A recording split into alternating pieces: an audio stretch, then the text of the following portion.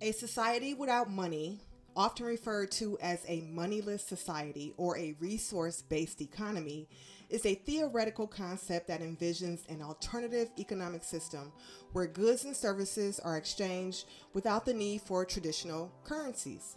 While this idea has been explored by various thinkers and movements, it's remained largely hypothetical and faces significant practical challenges.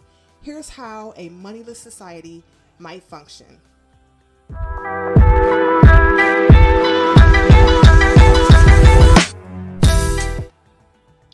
Welcome to Urban FinTech at the G Spot Studios channel, where we try to make finance and technology sexy. I'm your girl G. Resource based allocation. So instead of using money as a medium of exchange, goods and services will be allocated based on sustainability of resources and the needs of individuals and communities. Central planning or advanced algorithms could be used to manage resource distribution efficiently. Abundance and sustainability. The moneyless society would ideally prioritize sustainability and focus on meeting the basic needs of all of its members. Through advanced technologies and sustainable practices, it would strive to create an abundance of goods and services to ensure that everyone's needs are met. Collaborative and sharing oriented. The emphasis would be on collaboration and sharing rather than individual ownership. I mean, just think about it. We're all born here on earth. None of us own any of this shit, yet everyone's so territorial and want to claim or colonize things that don't really belong to them. Communities might collectively manage resources and prioritize them for the common good. Automation and advanced technology. To achieve efficiency and abundance, automation and advanced technology would likely play a crucial role. Robots, AI, and other technologies could take over mundane and labor intensive tasks, freeing humans to focus on creative and meaningful pursuits. Wouldn't that be nice? Education and personal development. In a moneyless society, personal growth and development could be highly valued. Education, arts, and culture would be accessible to all members of the society, fostering a well rounded and fulfilled populace. Why not? Voluntary or excuse me, voluntary participation. While a moneyless society would aim to meet the basic needs of everyone, participation in activities and projects might be voluntary. People could choose to contribute their skills and time based on their interests and passions, which I think would be more fulfilling, more meaningful, and just a more beautiful world if people are actually doing the things that they enjoy and want to do. Resource management and decision making. Decisions about resource allocation and community projects will be made through democratic processes, ensuring that the collective voice of the people guides the direction of society.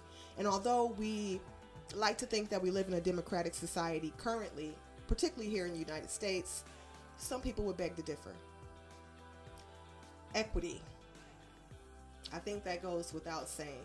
There's no definition needed a moneyless, cashless society would ultimately provide equity to those who may have been disenfranchised throughout the modern day society.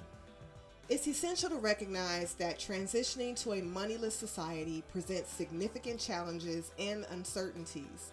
Some of the potential challenges include motivation and incentive.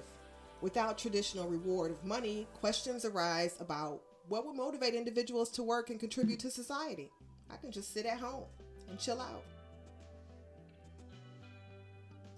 Scarcity and allocation. While a moneyless society would aim for abundance, resource scarcity might still exist.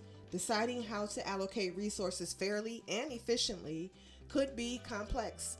But again, as we become more advanced as a society and have different algorithms and different supercomputers that can do this kind of um, allocating for us, I think it could be something of great benefit for the common good. Transition period. Moving from a monetary based economy to a moneyless system will require a substantial shift in societal norms, infrastructure, as well as institutions. This transition period could be challenging and require a careful amount of planning. And lastly, one of the other challenges would be global coordination. Implementing a moneyless society on a global scale will require international cooperation as the current global economic system is deeply intertwined with currencies and markets. So you really have to get that buy in. Overall, a moneyless society is an intriguing concept that explores alternative ways of organizing and distributing resources. While it presents exciting possibilities, it also raises significant practical challenges that will require careful consideration, experimentation, and widespread societal buy in or force, depending. But what are your thoughts? Is a cashless resource based society sexy or just plain silly? As we continue to evolve and move toward sustainable models and ways that work that benefit the, the betterment of everyone, I just want to remind you that one of the biggest currencies is time. Be careful how you invest it. And the ultimate, ultimate, largest currency is love. Be sure to spread it. Thank you.